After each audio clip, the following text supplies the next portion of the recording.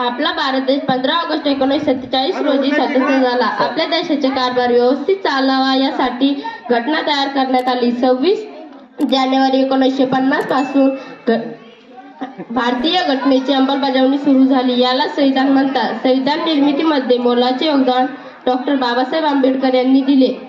म्हणूनच त्यांना भारतीय राजघटनेचे शिल्पकार म्हणतात.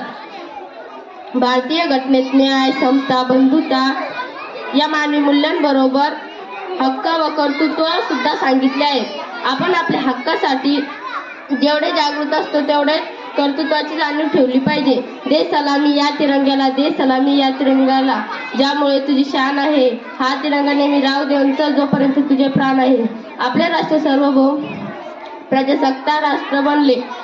म- यामुळे आपण प्रजासत्ताक दिन सा- उत्साहाने आनंदाने साजरा करतो. एवढे बोलून मी माझे दोन शब्द संपवते. जय हिंद जय भारत.